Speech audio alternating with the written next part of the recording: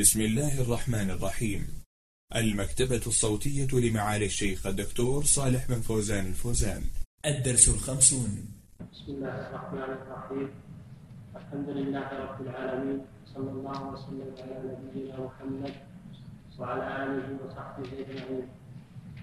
قال المصنف رحمه الله تعالى مسألة ولبن تحت محرم فإذا وطئ المرأة بنكاح فحملت وبان اللبن فأرضعت فيه طفلا أو طفلة صار إذن لها ولزوجها بسم الله الرحمن الرحيم. الحمد لله والصلاة والسلام على رسول الله سبق أن المرأة إذا أرضعت طفلا صار ولدا لها من الرضاع. لقوله تعالى وأمهاتكم اللاتي أرضعنكم. فسماهن أمهات.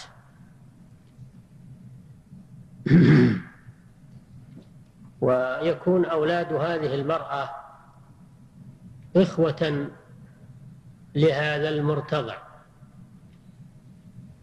أولاد هذه المرأة جميعهم إخوة لهذا المرتضع.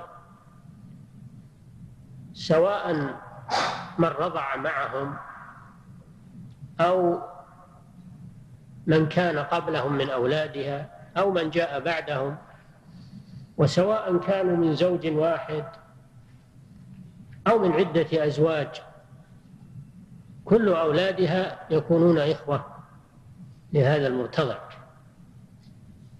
لقوله تعالى وأخواتكم من الرضاعة لأن بعض الناس يتوهم أنه لا يكون أخا للمرتضع إلا من رضع معه. أما الذين قبله أو بعده لا يكونون إخوة له. هذا خطأ. وكذلك بعض الناس يتوهم أنه لا يكون إخوة للمرتضع إلا أولاد الزوج الذي الذي رضع من لبنه. وهذا خطأ. بل كل أولادها من جميع الأزواج يكونون إخوة لهذا المرتضع. لأن أمهم واحدة. وكما يثبت تثبت الحرمة بالنسبة للمرضعة فإنها تثبت أيضا لمن له اللبن وهو الزوج. الذي وطئها فدر اللبن بسبب وطئه أو حملت منه ودر اللبن بسبب الحمل. فيكون هذا الزوج أبا للرضيع. ويكونون أولاد الزوج من جميع الزوجات إخوة لهذا الرضيع من المرضعة وغيرها. وهذا ما يسمونه بلبن الفحل يعني لبن الزوج. لأن هذا اللبن مشترك بين الأم التي در لها هذا اللبن وبين زوجها الذي بسببه وجد هذا اللبن إما بوطئه وإما بالحمل منه. هذا ما يسمى لبن الفحم. وهو عند الجمهور محرم فكل أولاد الزوج من هذه الزوجة المرضعة ومن زوجات أخر لو قدر هذا فإنه فإنهم يكونون إخوة لهذا الرضيع. وأيضا أخوات هذا الزوج يكون عمات لهذا الرضيع من الرضاع. وإخوته يكونون أعماما لهذا الرضيع. بدليل أن النبي صلى الله عليه وسلم قال لعائشة فإنه عمك من الرضاع. أخو أبي القعيس لما توقفت عائشة في الإذن له قال ائذني له فإنه عمك من الرضاع تربت يداك. فيكونون جميع محارم الزوج محارم للرضيع. وتنتشر الحرمة عليهم. هذه مسألة لبن الفحم. نعم. نعم. لأن اللبن هو من الذي حمل هو لأن اللبن هو من الحمل. لأن اللبن هو من الحمل الذي هو منه. نعم. وإن كان له امرأتان أربعة إحداهما. نعم. وإن كان له امرأتان أربعة إحداهما بلبنه طفلا والأخرى طفلة صار صار أخوين لأن اللقاح واحد. لو كان له ضرتان يعني زوجتان فأرضعت إحداهما طفلا وأرضعت الأخرى طفلا آخر.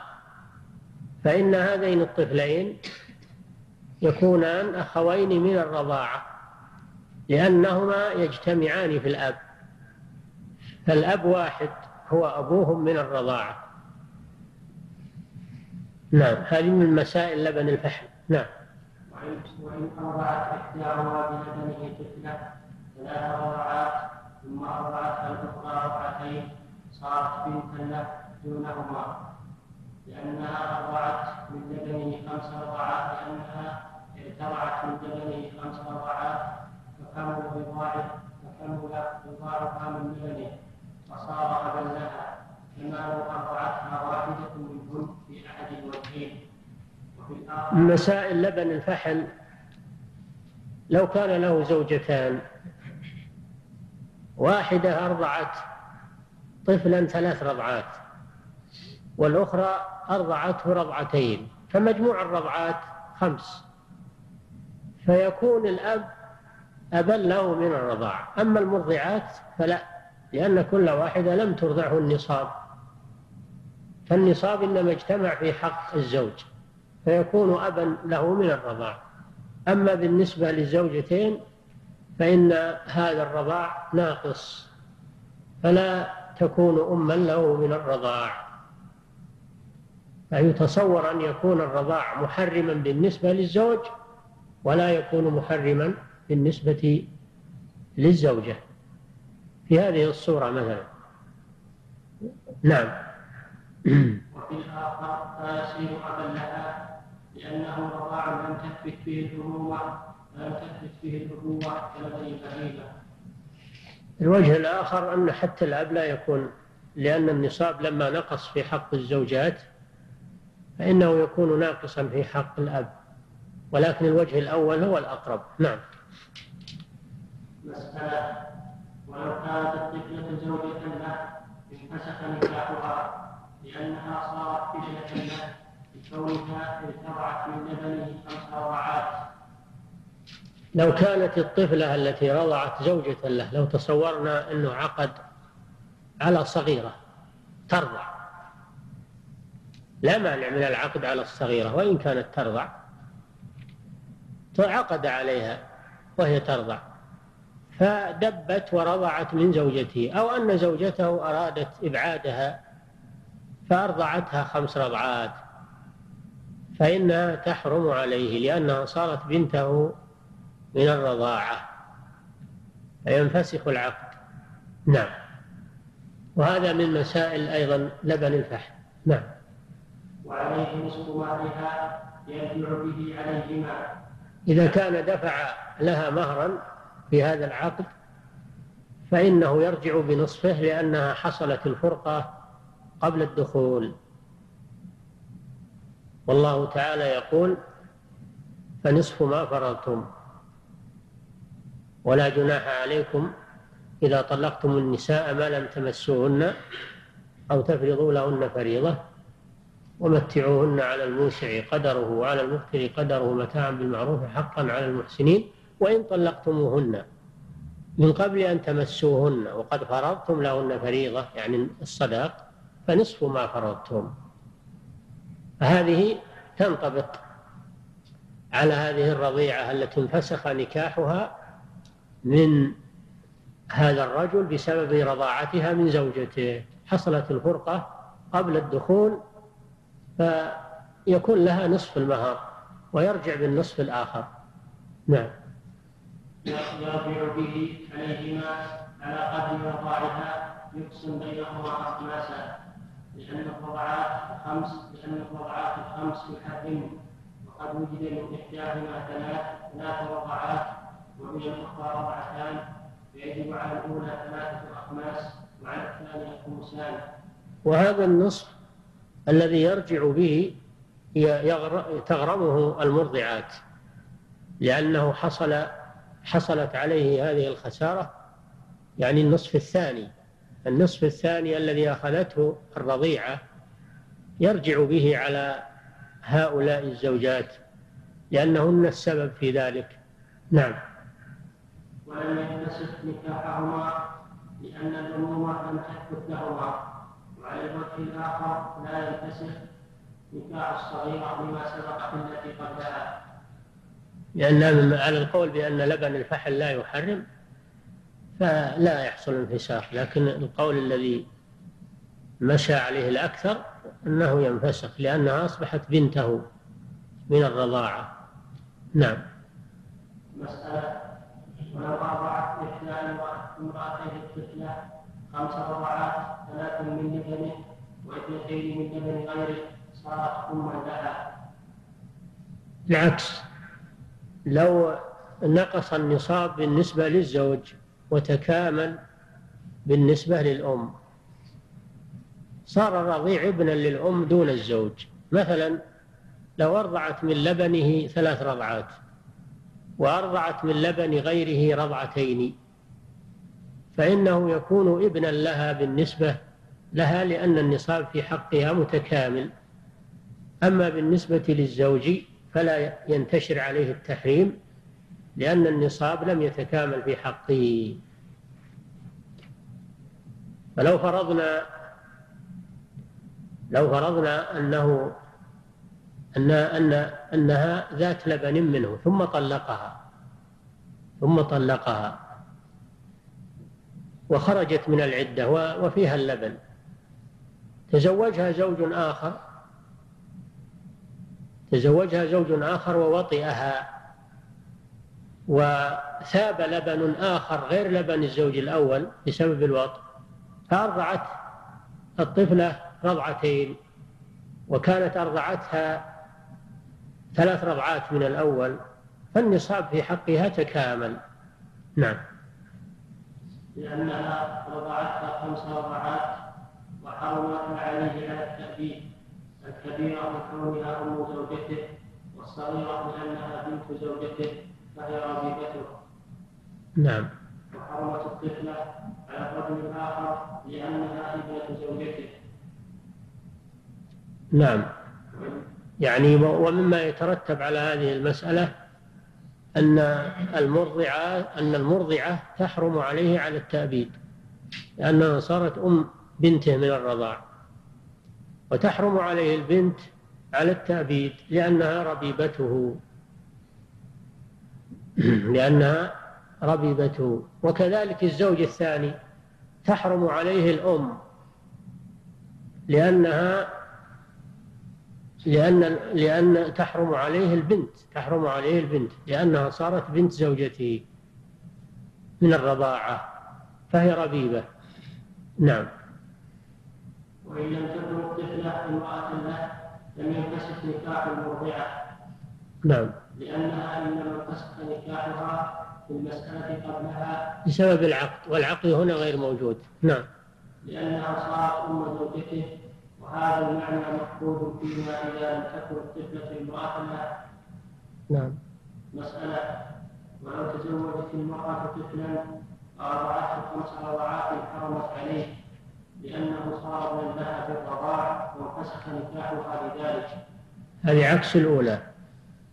امرأة كبيرة عقد لها على رضيع طفل الرضيع يصح العقد ولو كان الزوج صغيرا. ولو كان يرضع يصح أن يعقد له على امرأة. فرضنا أن هذا الرضيع عقد له على امرأة وفيها لبن فأرضعته بعد العقد. انفسخ نكاحها منه لأنه صار ابنا لها من الرضاع. والله جل وعلا يقول حرمت عليكم أمهاتكم. إلى قوله وأمهاتكم اللاتي أرضعنكم.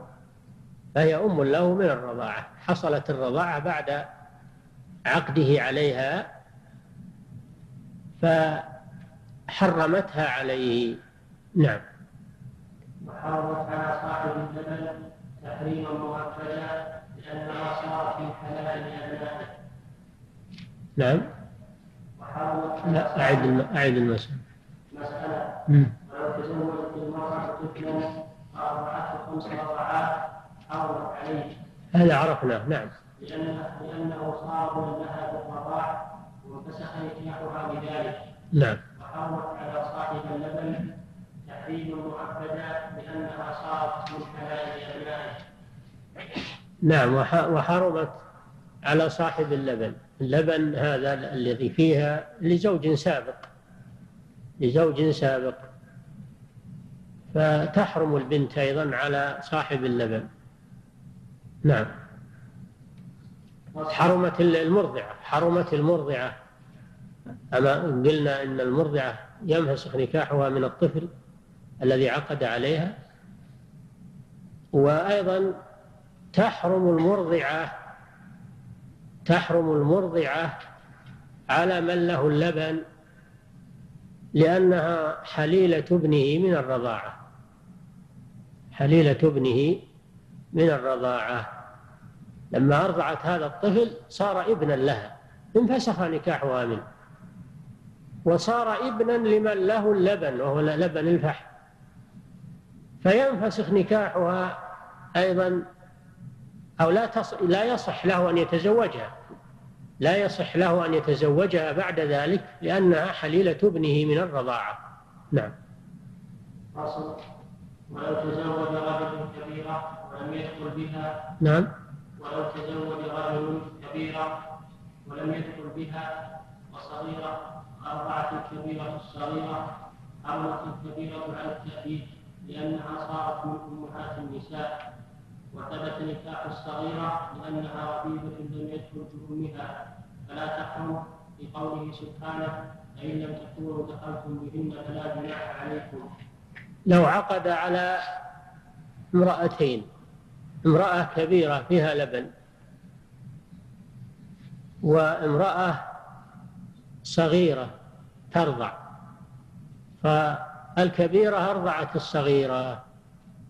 حرمتا عليه حرمت عليه الكبيرة حرمت عليه الكبيرة لأنها صارت أما لزوجته من الرضاعة.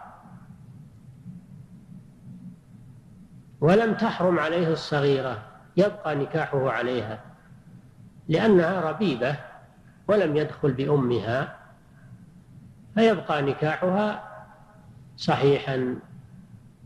لقوله تعالى وربائبكم اللاتي في حجوركم من نسائكم اللاتي دخلتم بهن وهو لم يدخل بالأم. فلا تحرم الصغرى ولا ينفسخ نكاحها منه وإنما ينفسخ نكاح الكبرى لأنها صارت أما لزوجته من الرضاعة. نعم. وعنه وعنه يفسخ نكاحها يعني الصغيرة. نعم. وهو مذهب الشافعي لأنهما صارت أما وبنتا واجتمعتا في نكاحه والجمع بينهما محرم فانفسخ نكاحهما الأختين. وكما لو عقد عليهما بعد الرضاع عقدا واحدا. يعني نظرا لأنه عقد عليهما جميعا فينفسخ في الثنتين. هذا الرأي الثاني. نعم. ولنا أنه أمكن أمكن إزالة هذا دليل القول الأول. لنا يعني استدلال القول الأول. نعم أنه ينفسخ نكاح الكبرى دون الصغرى. نعم. ولنا أنه أمكن إزالة الجمع بانفساخ نكاح الكبيرة وهي أولى به لأن نكاحها محرم على التأبيد.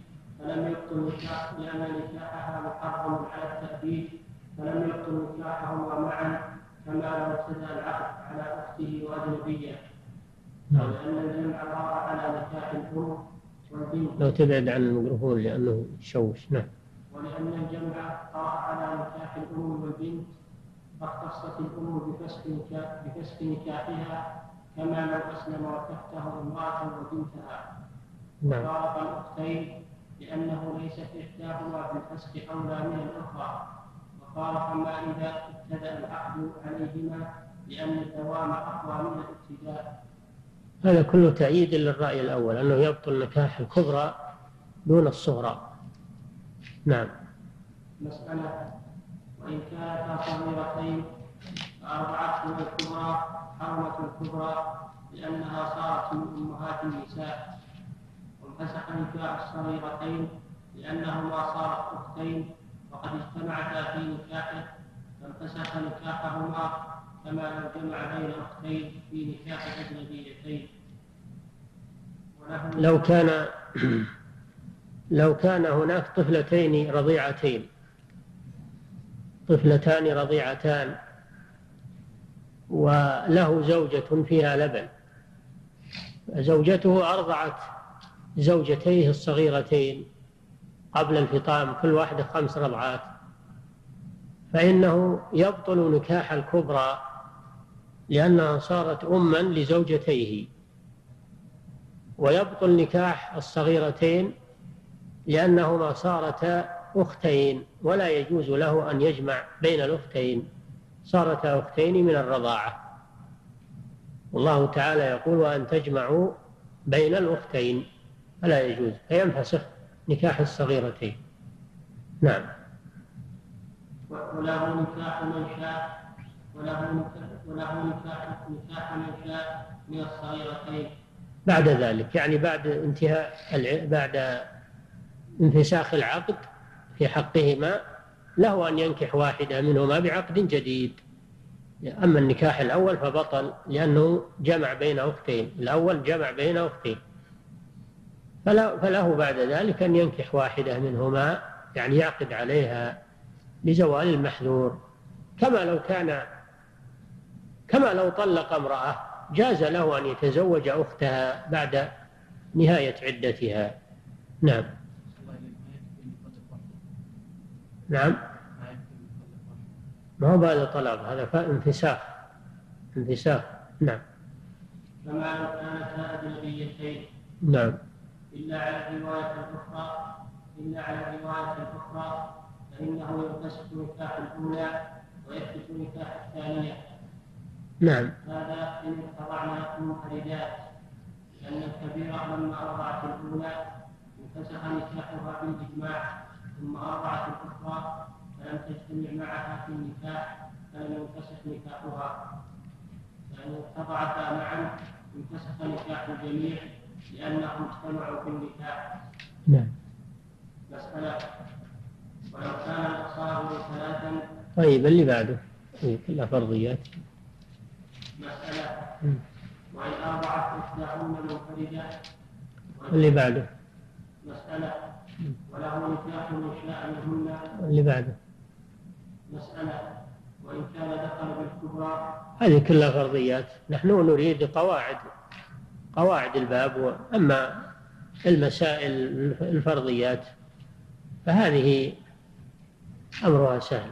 نعم. إذا عرفنا أصل الرضاع وشروط تحريم الرضاع وعرفنا انتشار الحرمة على من يكون بالرضاع وأنه ينتشر على الأم ومحارمها وعلى الزوج ومحارمه وعلى الرضيع وفروعه. هذه قواعد مهمة في الرضاع.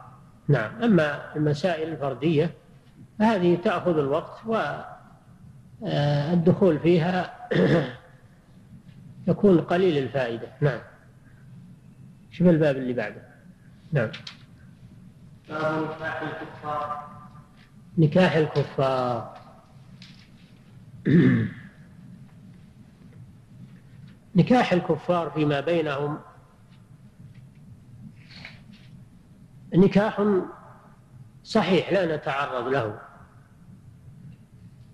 لكن إذا أسلموا فإن كان هذا النكاح يقره الإسلام أبقيناهم على العقد الأول ولا نتعرض لعقود الكفار السابقة. ما دام أن أنها لا تتعارض مع أحكام الإسلام. ما نقول إنكم عاقدين وأنتم في حال الكفر. ما نتعرض لهذا لأن النبي صلى الله عليه وسلم ما كان يتعرض لأنكحة الكفار إذا أسلموا بل يقرهم عليها. أما إذا أسلموا وعندهم نكاح لا يقره الإسلام فإنه لا يفرق بينهم. مثل لو أسلم مجوسي وهم تزوج أخته لأن المجوس يتزوجون مع محارمهم يتزوج المجوسي أمه وأخته وبنته ما في عندهم مانع. فلو أسلم مجوسي وهو متزوج لواحدة من محارمه فإن يجب التفريق بينهم لأن هذا لا يقره الإسلام. ولو كان مذهبهم يقره في حال الكفر. أما ما دام أنه ما يتعارض مع الإسلام فإننا لا نتعرض لكيفية العقد. ونقول كيف تم العقد؟ هل هناك ولي؟ هل هناك شهود؟ ما نتعرض لهذا الأمر. لأن الناس كانوا يسلمون على عهد النبي صلى الله عليه وسلم ولم يتعرض لزوجاتهم وإنما يتعرض لما يتعارض مع الإسلام. كما لو أسلموا تحت أكثر من أربع فإن الإسلام يخيره في أربع ويترك البقية. لأن هذا يتعارض مع الإسلام للزواج بأكثر من أربع الرسول صلى الله عليه وسلم أسلم عنده ناس عندهم أكثر من أربع فالنبي صلى الله عليه وسلم قصرهم على أربع وخيرهم أن يختاروا مما عندهم أربع نسوة وأن يتركوا الباقيات الزائدات على أربع. هذه هي القاعدة. أن الكفار إذا أسلموا فإن كان نكاحهم لا يتعارض مع ديننا فإنهم يتركون عليه ولا يجدد العقد. أما إن كان نكاحهم يتعارض مع ديننا كالزواج بأكثر من أربع أو كزواج المحارم فإنه لا بد من التفريق بينهم لأن الإسلام لا يقر هذا. نعم. مسألة لا لا يحل لمسلمة نكاح كافر بحال. نعم. كذلك من مسائل نكاح الكفار من مسائل نكاح الكفار أن المسلمة لا يجوز لها أن تتزوج بكافر لا كتابي ولا غير كتابي. لقوله تعالى فإن علمتموهن مؤمنات فلا ترجعوهن إلى الكفار لا هن حل لهم ولا هم يحلون لهن ولقوله تعالى ولا تنكحوا المشركين حتى يؤمنوا.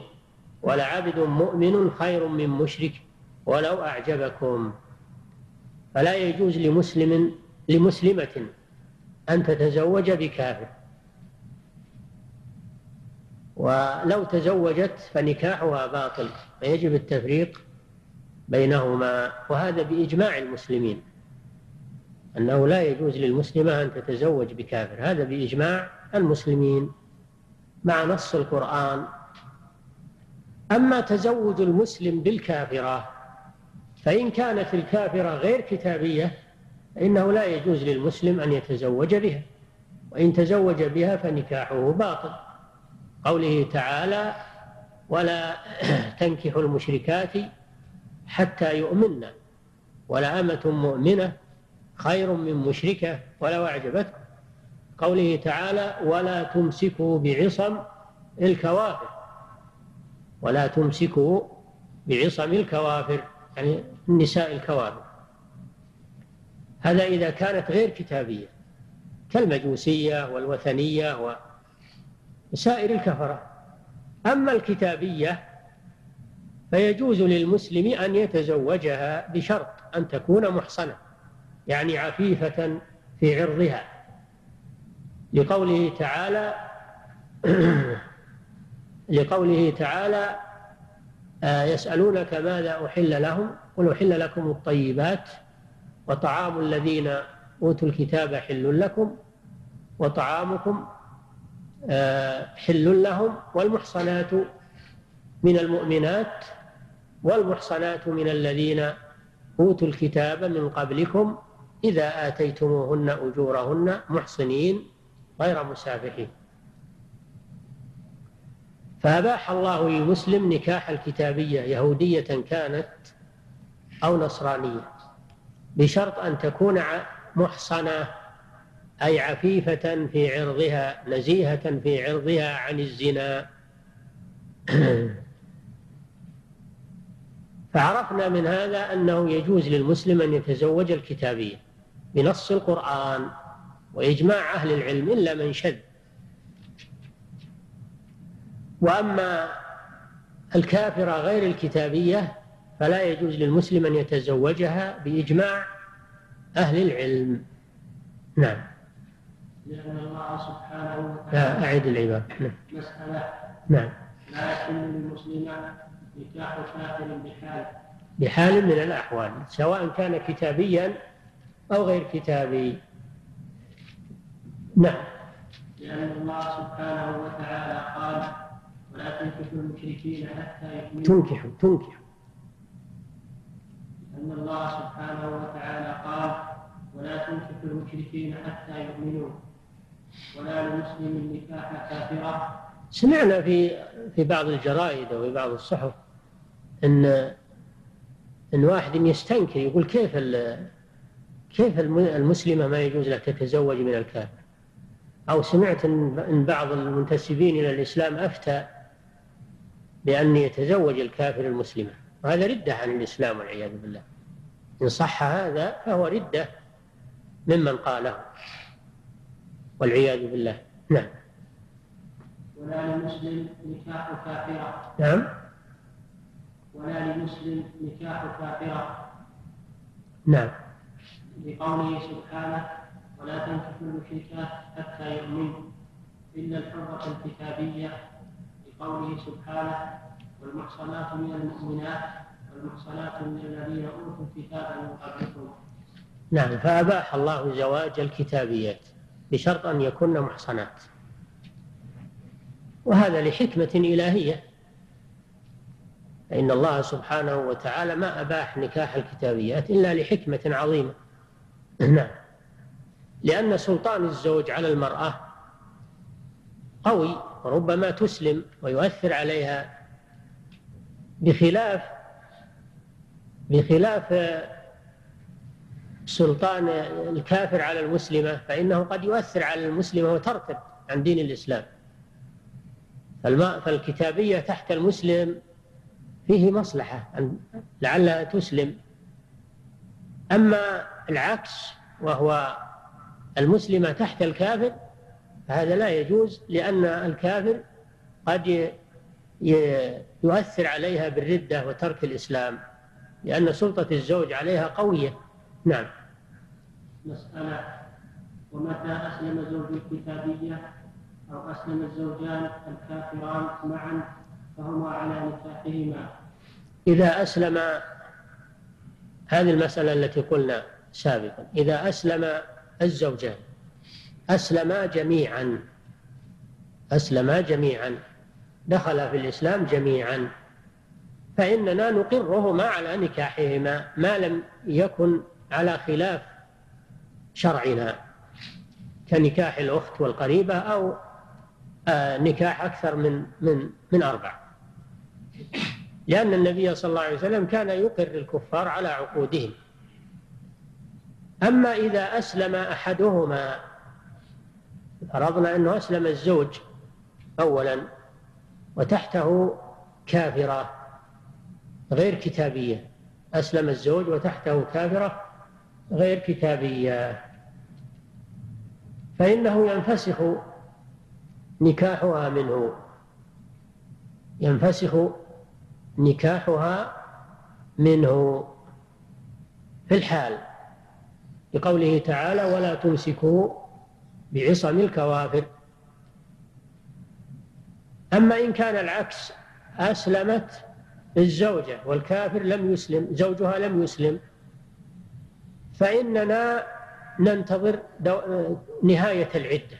فإن أسلم وهي في العدة فهي زوجته.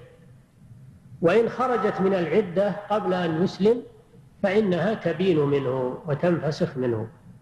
وليس له عليها سلطان.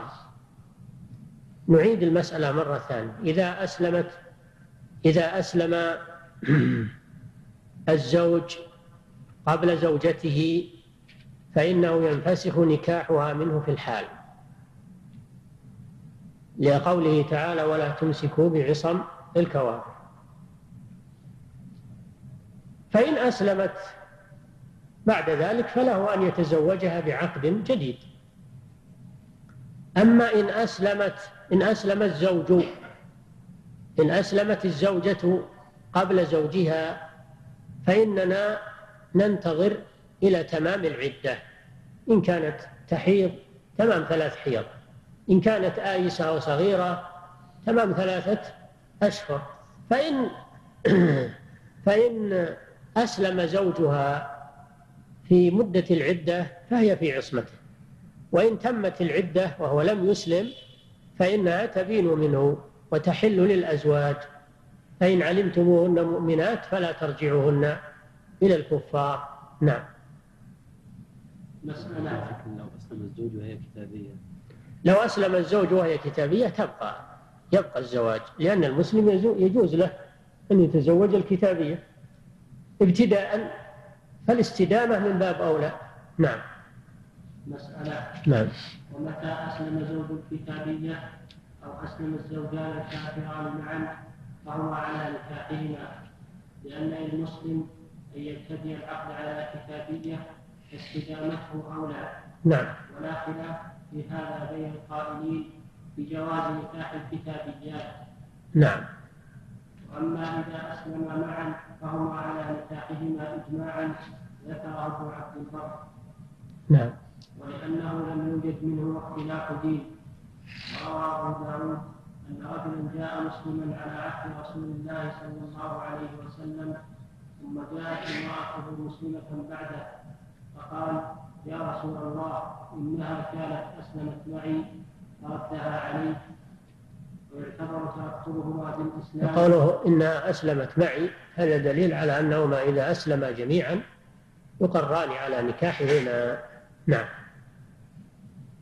ويعتبر ترتبهما بالإسلام دفعة واحدة لأن لا يسبق إسلام أحدهما إسلام صاحبه فيفسد نكاحه. إذا أسلما معا ما هي كيفية إسلامهما معا؟ أن ينطقا بالشهادتين في آن واحد. أن ينطقا بالشهادتين في آن واحد. فيكون دخولهما في الإسلام جميعا في آن واحد. نعم.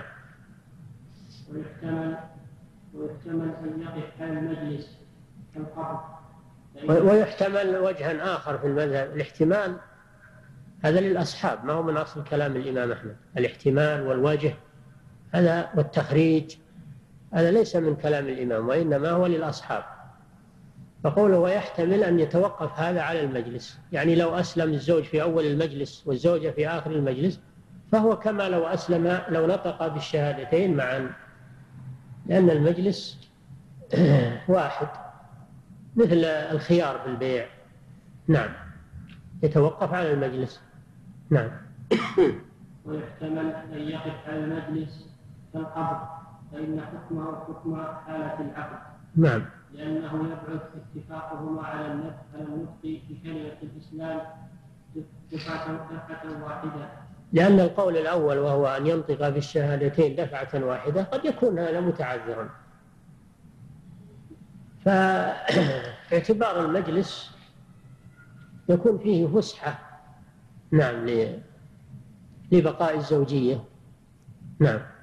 مسألة وإن أسلم وإن أسلم إحداهما غير زوج كتابية أحدهما وإن أسلم أحدهما غير زوج كتابية مثل أن يسلم أحد الزوجين غير الكتابيين كالوثنيين أو المجوسيين أو كتاب متزوج لوثنية أو مجوسية قبل الدخول به ها؟ و... مثل أن يسلم أحد الزوجين غير الكتابيين كالوثنيين أو المجوسي أو المجوسيين أو كتاب متزوج لوثنية أو مجوسية قبل الدخول به تعدلت الفرقة بينهما من حين إسلامه ويكون فسخا ليس بطلاق لأنها فرقة باختلاف دين فكانت فسخا كما لو أسلم الزوج. نعم. ولأنه اختلاف دين يمنع الإقرار على النكاح فإذا وجد قبل الدخول تعدلت الفرقة كالردة أو كما لو أسلم الزوج. ولأنه إن كان هو المسلم فليس له إمساك الزوجة. لقوله سبحانه ولا تمسكوا بعصم الكوافر. وإن كانت هي المسلمة فلا يجوز بقاؤها في نكاح مشرك لقوله سبحانه لا هن حل لهم ولا هم يحلون لهن هذا إن كان قبل الدخول لو عقد وأسلم أحدهما قبل الدخول حصلت الفرقة سواء كان المسلم الزوج أو الزوج إذا حصل إسلام أحدهما قبل الدخول وجدت الفرقة بدون تفصيل. إنما الكلام إذا كان إسلام أحدهما بعد الدخول. نعم. مسألة. وإن ارتد أحد الزوجين المسلمين قبل الدخول انفسخ النكاح في الحال. كذلك. إذا كان يعني عقد على امرأة وهما مسلمان ثم ارتد بمعنى أنه ارتكب ناقضا من نواقض الإسلام القولية أو الفعلية أو الاعتقادية. نواقض الإسلام معروفة. قبل الدخول انفسخ النكاح لأنه ليس هناك عدة. قوله تعالى يا أيها الذين آمنوا إذا طلقتم النساء آه، من قبل أن تمسوهن فما لكم عليهن من عدة تعتدونها الطلاق قبل والطلاق والفرقة قبل الدخول ليس لها عدة فيحصل الفراق في الحال فرقة بينهما. نعم.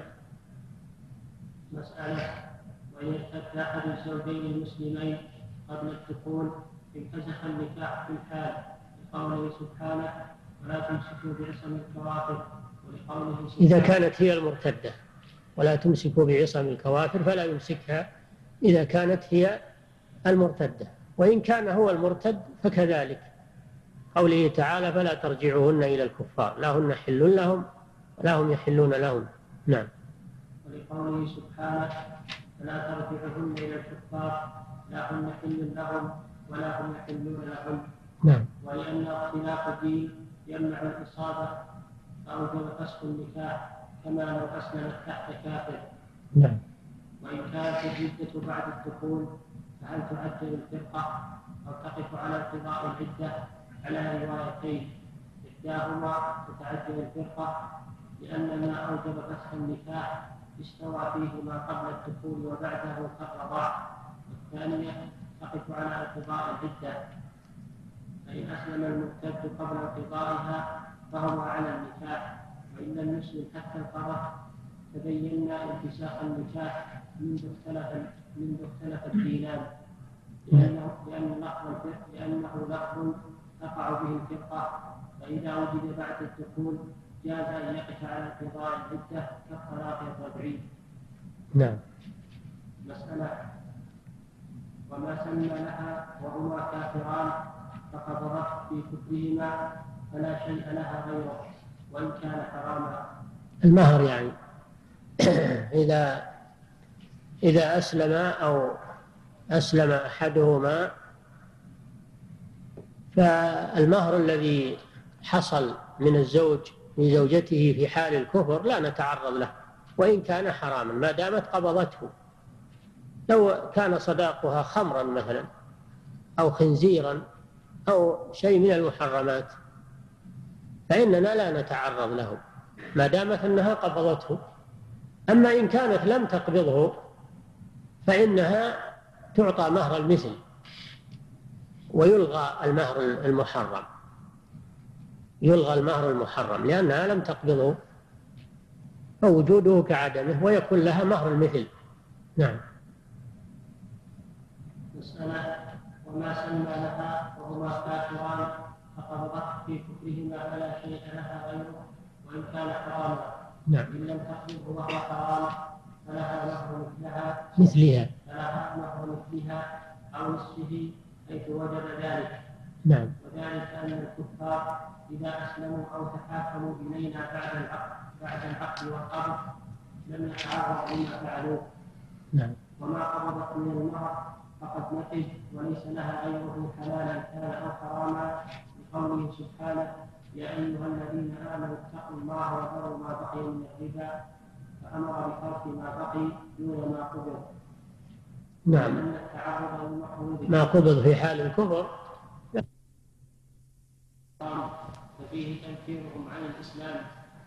تنفيرهم عن الإسلام. يعني لو تعرضنا لأشياء سابقة تعرضنا لعقودهم تعرضنا ل- للمهر الذي قبض حصل في هذا تنفير لهم عن الإسلام. فمن يسر الإسلام السكوت عن هذا الشيء الذي مضى وانتهى وقبض. ما نحرث عنه ونبحث عنه. ليس هذا من شأننا. نعم. ولأنهما تقابلا بحكم الشرك فب- فبرئت ذمة من هو عليه كما لو تبايعا بيوعا فاسدة وتقابضا. كل معاملات الكفار التي انتهت في حال الكفر لا نتعرض لها. أما التي لم تنتهي فهذه تعرض على حكم الإسلام فما أقره فهو صحيح وما خالفه فإنه ينقض. نعم. وإن لم يتقابضوا وكان المسمى حلالا وجب ما سمياه لأنه مسمى صحيح فهو كتسمية المسلم. نعم. وإن كان حراما كالخمر والخنزير بطن ولم يحكم به لأن ما سمياه لا يجوز إيجابه في الحكم ولا يجوز أن يكون صداقا لمسلمة ولا في نكاح مسلم ويجب مهر المثل إن كان بعد الدخول إن كان بعد الدخول ونصفه في وقعة الفرقة قبل الدخول وهو معنى قوله حيث وجب ذلك. يعني لو فرضنا أن أن زوجين أسلما ولم تقبض الزوجة الصداق وطالبت به عند المسلمين فإن القاضي ينظر إن كان هذا الصداق حلالا في الإسلام أقره وألزم الزوج بدفعه. وإن كان هذا الصداق الذي لم يقبض حراما كالخمر والخنزير وغير ذلك من المحرمات فإن القاضي يبطل هذا الصداق ويسمي لها مهر المثل بدله. نعم. فصل. فصل. فإن أسلم الحر وتحته إماء فأسلمن معه وكان في حال اجتماع في حال اجتماعهم على الإسلام بمن لا يحل له نكاح الإماء انفسخ نكاحهم. لأنه في هذه الحالة لا يملك ابتداء نكاح لا يملك ابتداء نكاحهم. لو كان مثلا أسلم كافر حر أسلم كافر حر وتحته أمة مملوكة متزوجها في الكفر تزوجها في حال الكفر نظرنا فإن كان ممن يحل له نكاح الإماء لأن كان لا يستطيع دفع الصداق للحرة ويخاف على نفسه من الزنا فإنه يقر نكاحه لأن المسلم يجوز له نكاح الأمة بهذين الشرطين فكذلك الكافر إذا أسلم يقر على نكاحه للأمة لأنه عاجز عن مهر الحرة ويخاف على نفسه من الزنا. أما إن كان لا تنطبق عليه شروط نكاح الأمة وهو حر فإنه يفرق بينهما لأن هذا لا يقره الإسلام لا يجيز الإسلام للحر أن يتزوج مملوكة بغير الشرطين المذكورين في الآية. عدم وجود مهر الحرة والخوف على نفسه من الزنا إن لم يتزوج بها. نعم. وإن كان في حال اجتماعهم على الإسلام ممن يحل له الإماء فله الاختيار منهن واحدة. لأنه يملك ابتداء نكاحها يعني ما ي... إذا أسلم وتحته زوجتان مملوكتان وهو ينطبق عليه شرط, شرط نكاح الإمة في الإسلام. يقر أصل النكاح لكن لا يبقى على زواج مملوكتين وإنما يتزوج مملوكة واحدة لأنها يحصل بها المقصود. الله إنما أباح نكاح الحر لأمة واحدة بالشرطين المذكورين فلا يتزوج أكثر من واحدة. لأن أصل هذا ممنوع وإنما رخص فيه بقدر ما يدفع الضرورة والضرورة تندفع بواحدة دون التعدد. نعم. لأنه يملك ابتداء نكاحها فملك اختيارها كالحرة نعم. باب الشروط في النكاح. مسألة. الشروط في النكاح. عندنا شروط النكاح والشروط في النكاح. ما الفرق بينهما؟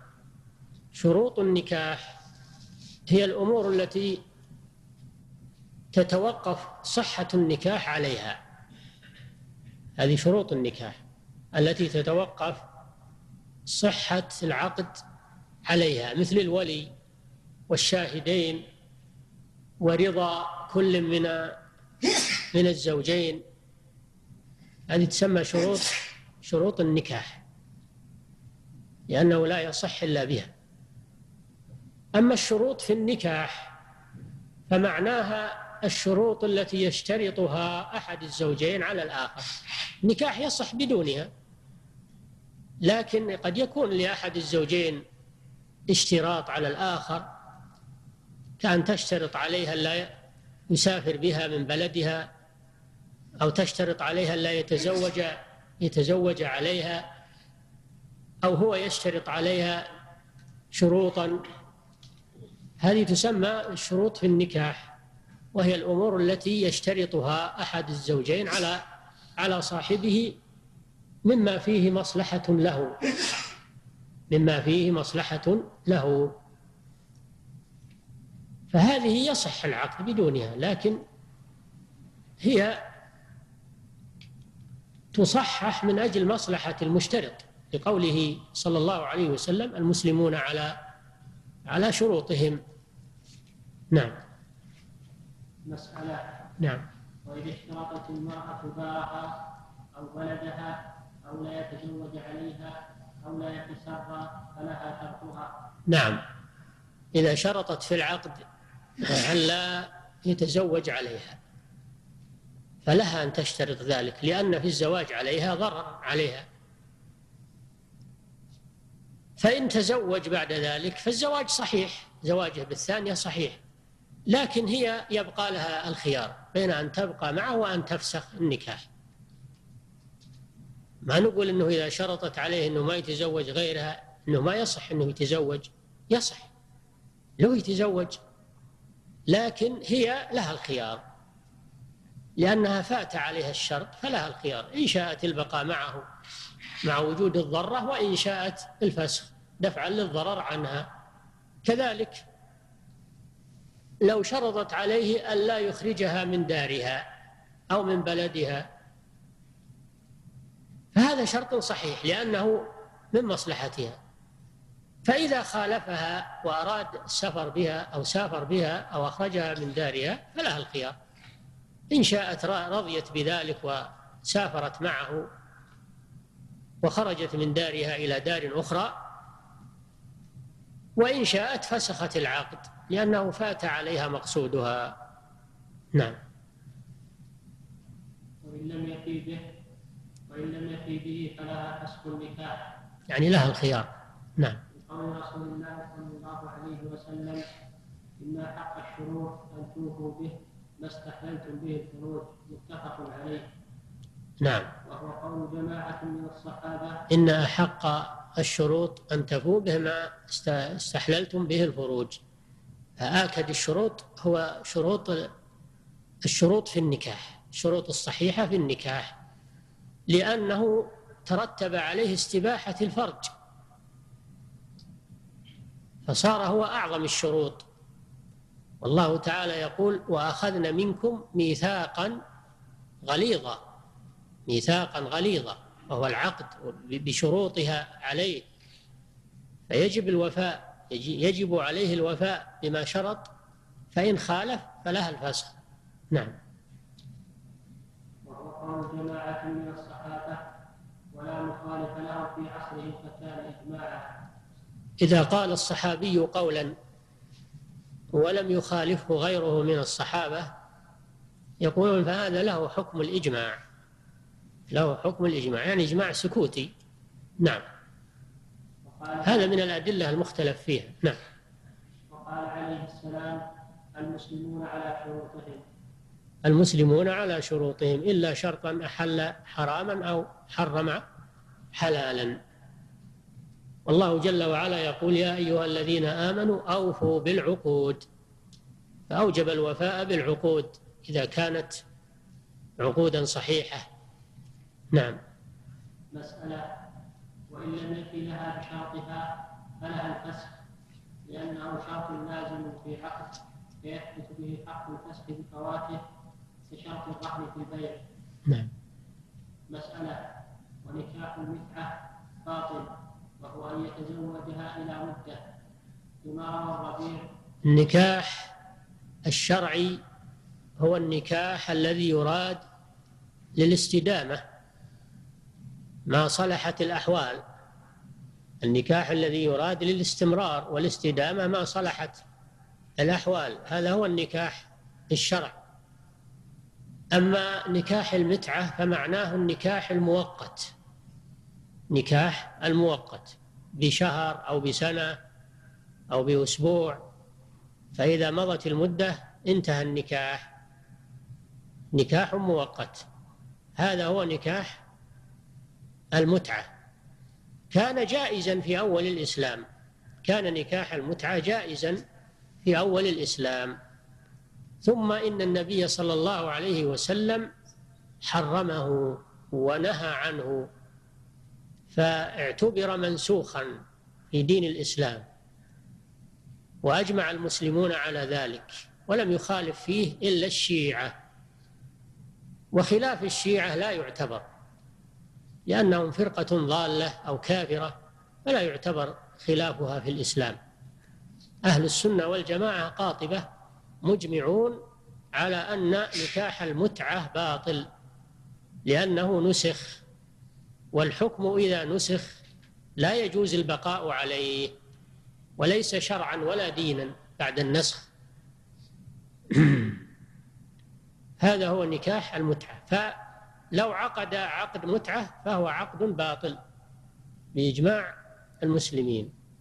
عقد باطل. نعم.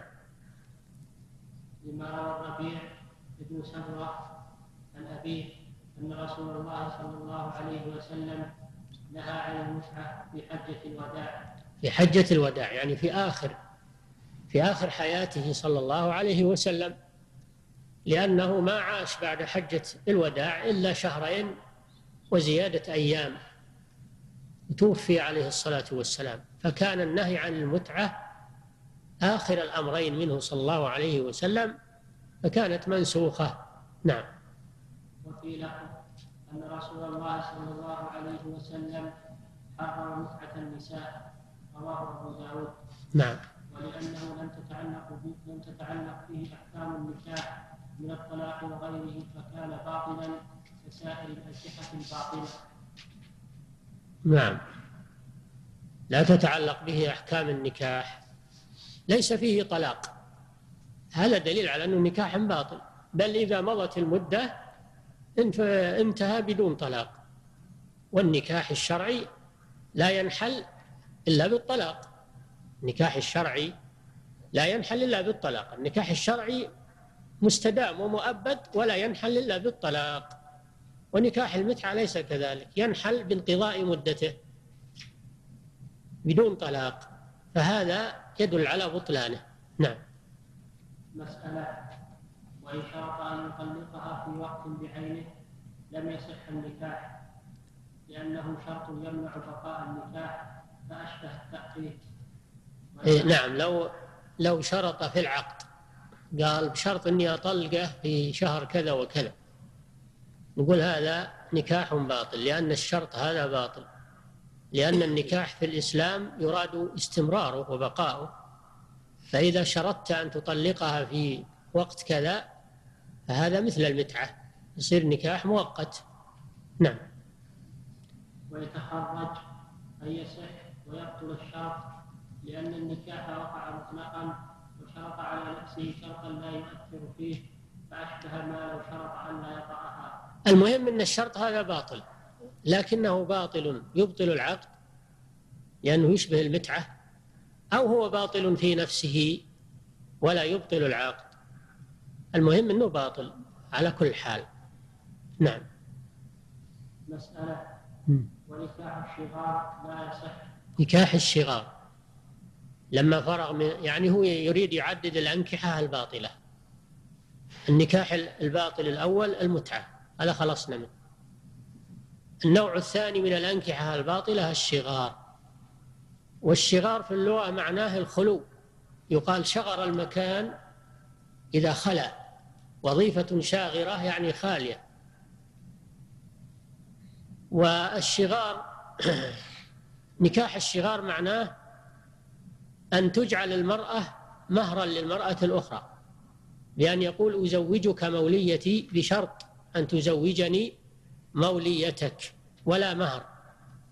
هذا شغار لأنه سمي شغارا لخلوه لخلوه من المهر. ولأن ولأنه يحصل به ضرر على النساء. تجعل المرأة مبتذلة كأنها شيء من المال. يمتهنها وليها ويحصل بمقابلها على زوجة أخرى ولا يصير لها كرامة ولا اختيار ولا رضا. يسيطر عليها يخضعها لمصلحته هو. فأبطله الله عز وجل فهو نكاح باطل بإجماع المسلمين إذا كان بهذه الصفة مرأة بدل مرأة ولا مهر بينهما هذا باطل بإجماع المسلمين. وسمي شغارا لخلوه من المهر ولخلوه أيضا من حظ المرأة ورضاها وإنما الغبطة فيه للولي فقط فهو باطل. أما إذا حصل البدل بين المرأتين وهناك مهر لكل واحدة منهما مهر كامل هذا محل خلاف بين العلماء. من العلماء من عده من الشغار وأبطله ومنهم من عده صحيحا لوجود المهر لوجود المهر وهذا هو المذهب. المذهب أنه إذا وجد مهر فإن النكاح صحيح ولو كان فيه بدل. لأن هذا يعطي للمرأة حقها في المهر ويعطيها أيضا حق الاختيار فلا غضاضة عليها في ذلك. هذا هو المذهب. والقول الثاني أنه شغار أيضا ولو كان فيه مهر. نعم. يكفي. نعيد الشغار إن شاء الله في الجلسة القادمة لأنه مهم جدا ويكثر وقوعه. نعم.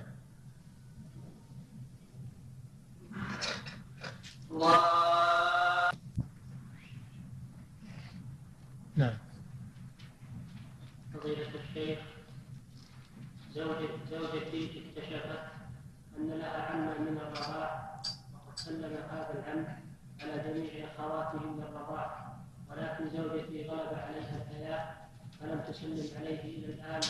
علما أننا نتأكد أنه, أنه عمها من الرضاع فهل أمرها بالسلام والكشف له وهل في عدم السلام والكشف قطيعة للرحم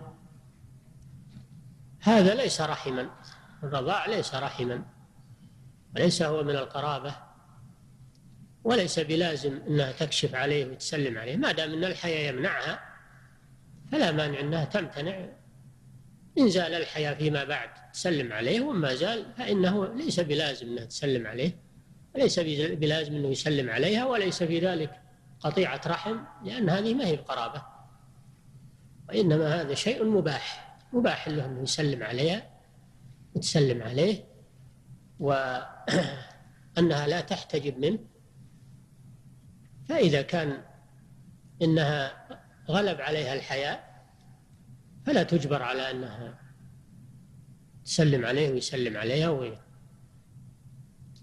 إن هذا شيء ما هو بلازم. نعم. نعم. إذا انفسخ إذا انفسخ عقد الزواج هل يشترط العدة للعقد مرة أخرى أو لا يشترط؟ ما في شك إذا حصل دخول إذا انفسخ عقد الزواج بعد الدخول فلا بد من العدة لأجل براءة الرحم. ولعموم قوله تعالى يا أيها الذين آمنوا إذا طلقتم النساء من قبل أن تمسوهن فما لكم عليهن من عدة تعتدون. فدل على أن من حصل لها مسيس ودخول أن عليها العدة. نعم. فضيلة الشيخ إذا بطل الزواج هل يشترط العدة في العقد الجديد وما هو الفرق بينهما؟ إذا كان دخل بها بموجب العقد الباطل دخل بها فلا بد من العدة. لأجل براءة العلم ببراءة الرحم. ولو كان العقد باطلا. إذا دخل بها فلا بد من العدة. من أجل العلم ببراءة الرحم. لئلا يكون وطئها وحملت منه. فيحصل بذلك اختلاط الأنساب. نعم. أما إذا كان لم يدخل بها فهذا ليس عليها عدة. نعم. حتى لو كان صحيح ما, عليها عدة. فكيف إذا كان باطلا لأن وجوده كعدم نعم. فضيلة الشيخ لو تزوج رجل امرأة مطلقة وكان لها لبن من زوج سابق واستمر هذا اللبن حتى بعد الزواج فمن فمن لمن يحكم هذا اللبن؟ ولو ارتضع طفلا منها فمن يكون أبوه من الرضاع؟ هذا اللبن للزوج الأول بلا إشكال لكن هل هل يكون أيضا للزوج الثاني فيه تأثير بموجب الوطء هذا محل نظر. ما الزوج الأول فاللبن له بلا إشكال. وإذا كان وطء الزوج الثاني سبب زيادة اللبن زيادة اللبن فهذا أيضا لا إشكال أنه يحصل له فيه اشتراك وحرمية. أما إذا كان لم يزد اللبن عن ما كان عليه بعد الزوج الأول هذا محل نظر وإشكال والأصل أنه لا تأثير له الأصل أنه لا تأثير له. نعم. فضيلة الشيخ قد أباح الله نكاح الكتابيات. نعم. لكن هل هنالك شروط غير أن تكون محصنة؟ فماذا إذا أرادت أن تذهب إلى الكنيسة فتشرب الخمر وتتبرج وتختلط بالرجال تأكل لحم الخنزير ونحو ذلك هذه منكرات. هذه حتى المسلمة لو عصت زوجها وارتكبت المنكرات فله أن يمنعها. فكيف بالكتابية؟ للزوج أن يمنعها من هذه المنكرات. يمنعها فإن أبت فإنه يطلقها لأنها لا تصلح زوجة له وهي ترتكب هذه المحرمات. نعم. فهذا من باب إنكار المنكر. نعم. فضيلة الشيخ قلتم حفظكم الله تفسخ نكاح المسلمة إذا أسلمت لكن ماذا في قصة العاص؟ أبي العاص زوج أم كلثوم بنت رسول الله صلى الله عليه وسلم. يعني إذا انتهت العدة انفسخ نكاحها. هذا الذي عليه جمهور أهل العلم. وقضية قضية زينب بنت الرسول صلى الله عليه وسلم وزوجها أبي العاص لما تأخر إسلامه ثم أسلم ورده النبي صلى الله عليه وسلم عليه. هذه قضية مشكلة عند أهل العلم. قضية مشكلة عند أهل العلم. فمن العلماء من يقول إذا انتهت العدة صار الخيار لها هي. إن شاءت أن ترجع إليه ترجع وإن شاءت أن أن تنفسخ منه فلها ذلك بعد تمام العدة. أما قبل تمام العدة فليس لها الخيار. هي زوجته بعد قبل تمام العدة إذا أسلم قبل تمام العدة فهي زوجته وليس لها خيار. أما بعد تمام العدة فلها الخيار بدليل أن الرسول صلى الله عليه وسلم رد زينب على أبي العاص ابن الربيع لما أسلم. فهذا من باب أن لها الخيار إذا رغبت فيه ترجع إليه. ففيه فرق فيما إذا أسلم قبل العدة أو أسلم بعد العدة. قبل العدة تلزم بالرجوع إليه لأنها زوجته. وقبل وبعد العدة إذا أسلم قالوا يكون لها الخيار. ولكن الجمهور على أنها بمجرد انتهاء العدة ينفسخ نكاحها منه وقضية زينب هذه قضية خاصة. قضية خاصة ومشكلة عند أهل العلم. نعم. ابن القيم له كلام طويل في زاد المعاد لو راجعتموه وتعرض لقضية بنت الرسول صلى الله عليه وسلم مع زوجها أبي العاص. نعم. قضية الشيخ ما حكم زواج المسيا الذي انتشر في الآونة الأخيرة؟ هذا زواج ما تطمئن إليه النفس. لا تطمئن إليه النفس. لأنه ما يدرى وش وراءه وماذا سيترتب عليه في المستقبل. وما هي الدوافع له. ونخشى أن يكون بداية لما لا تحمد عقباه. الواجب تجنب هذا الشيء. نعم. سيترتب عليه مشاكل في المستقبل والله أعلم. مشاكل كثيرة في العوائل وفي بين بين الزوجين وهي تقول أنا شارطة عليك ما وهو يقول أنت زوجتي تروحين معي وهي تقول أنا شارطة عليك إني أبقى و- وأعمل في وظيفتي وأعمل في كذا يحصل مشاكل ونزاعات. أنا أظن أن المحاكم ست- ستمتلي بمشاكل زواج المسيار عما قريب فالواجب ترك هذا الشيء. نعم. ما أدري عن صحته ما أدري. أنا متوقف فيه. نعم. فضيلة الشيخ ما رأيكم في شرط شفهي عند العقد؟ نعم. ما رأيكم في شرط شفهي عند العقد ولم يكتب أن يسمح للزوجة بالعمل بعد الزواج هل يلزم الزوج الوفاء بهذا الشرط؟ إيه نعم. إذا حصل تلفظ عند العقد وال- والتزم الزوج بهذا ولو لم يكتب إنه يلزم. يلزم العمل بهذا الشرط إذا طلبت ذلك لأنه حق لها شرطته عليه فيلزم الزوج بالخضوع لهذا الشرط. أما لو سمحت عنه وتنازلت عنه فهو أحسن. لكن إذا لم تتنازل وطالبت به النبي صلى الله عليه وسلم يقول المسلمون على شروطهم ولو لم يكتب في العقد. نعم. مجرد الكلام منها والالتزام من الزوج يكفي وشهود وشهادة الشهود الحاضرين عليه تكفي. نعم. فضيلة الشيخ أنا مسافر للخارج لمدة سنة. وأخشى على نفسي العنف فهل لي زواج كتابية؟ مع عدم تحديد وقت الطلاق؟ الزواج من الكتابية عرفنا أنه جائز ب- بالكتاب و... وإجماع أهل العلم. لكن بشرط أن تكون الكتابية محصنة يعني عفيفة عن الزنا في عرضها وفي أولادها و... فيجوز له أن يتزوج سواء كان طالبا يدرس هناك أو أو غير طالب. هذا هو الأصل. نعم. بنية الطلاق هذا محل إشكال. الزواج بنية الطلاق العقد ظاهر صحيح لأنه متكامل الشروط. وأما كونه يضمر في قلبه شيء النيات لا يعلمها إلا الله لكن ظاهر العقد الصحة لتكامل شروطه. أما كونه يضمر في قلبه شيئا فالنيات لا يعلمها إلا الله ولا يجوز للإنسان أنه ينوي نية تخالف العقد ونية تضرر بالزوجة لأن هذه خيانة هي تزوجته على أنه زوج مستمر وعلى أنه سيقوم ب- بكفايتها وفي إعفافها. هذا اللي هي بنت عليه وبنى عليه وليها والشهود شهدوا على هذا. وكونه يضمر في قلبه خلاف هذا هذه نية باطلة ونية فيها خيانة للزوجة ولوليها وتغرير بالشهود أيضا. فالواجب تجنب هذا الشيء.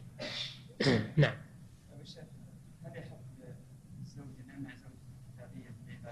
عباداتها؟ لا يمنعها من الشرك. إذا كانت تعتقد أن عيسى عبد أنه ابن الله تصرح بهذا. أنه ابن الله أو ثالث ثلاثة يمنعها من هذا لأن هذا شرك منكر. نعم. نعم. يمنعها من من تعليق الصليب تظاهر ب ب بدين النصارى في بيته يمنعها من هذا الشيء. وما تزوجها على على شرط أنها تخضع لحكم الإسلام تترك هذه الأشياء. نعم.